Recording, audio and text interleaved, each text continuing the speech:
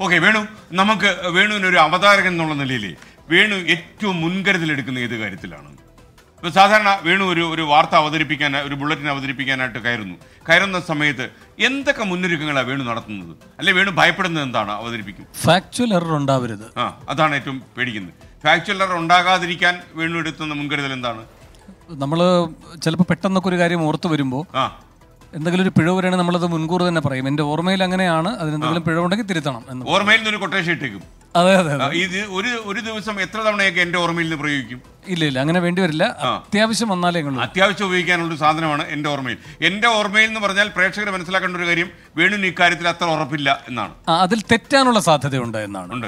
അപ്പൊ അതിനൊരു മുൻകൂർ ജാമ്യമായിട്ടാണ് നമ്മൾ എന്റെ ഓർമ്മയിൽ എന്ന് പറയുന്നത്. ആ, അല്ല തിരുത്താൻ തയ്യാറാണെന്നുള്ളതോ? അങ്ങനെയാണത് അങ്ങനെ. എപ്പോഴെങ്കിലും വേണുവിന് നമ്മുടെ ആ പാട്ട് ഒഴിച്ചാൽ ഉണ്ടായിട്ടുണ്ട്. ഉണ്ടായിട്ടുണ്ട് ഞാൻ ഒരു ഒരിക്കൽ ചർച്ച നടത്തിക്കൊണ്ടിരിക്കുമ്പോൾ. മാതൃഭൂമിയിലാണ്. ബിൻലാദനെ ബിൻലാദനെ ബിൻ ലാദനെ ബിൻ ലാദനെ അമേരിക്ക ആക്രമിച്ച് വധിച്ച സംഭവം ആ തീയതിയും മാസമൊക്കെ പറഞ്ഞപ്പോൾ തെറ്റിപ്പോയി.